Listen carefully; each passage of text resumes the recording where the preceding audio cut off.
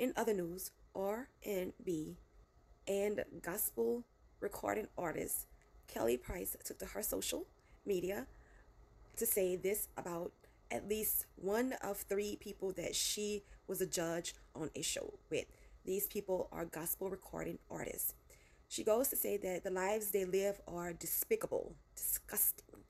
So I'm not here to have an opinion because I don't know enough information to form one.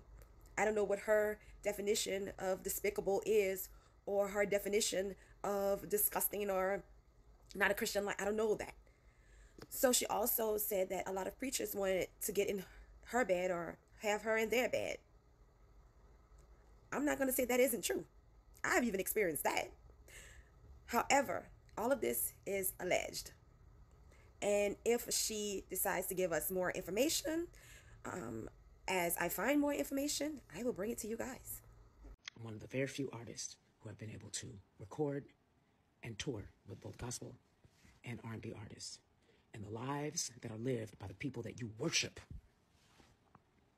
are despicable and disgusting. My heart was broken when I saw the things that happened on the road with a lot of these artists. Doing shows with these artists, all kinds of stuff. My heart was broken because there was still a part of me that believed that holiness without which no man shall see the Lord. That's biblical also.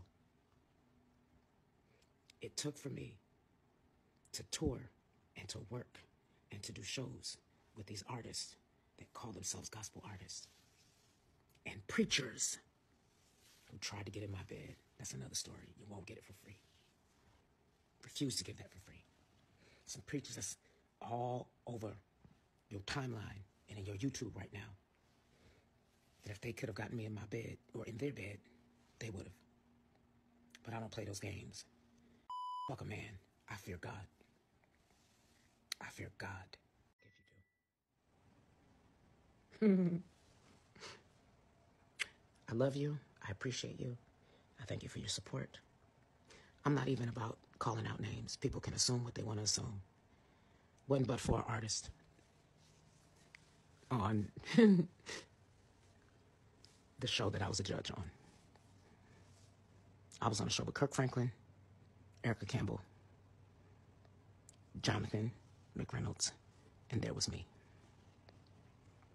My husband was with me at work every day.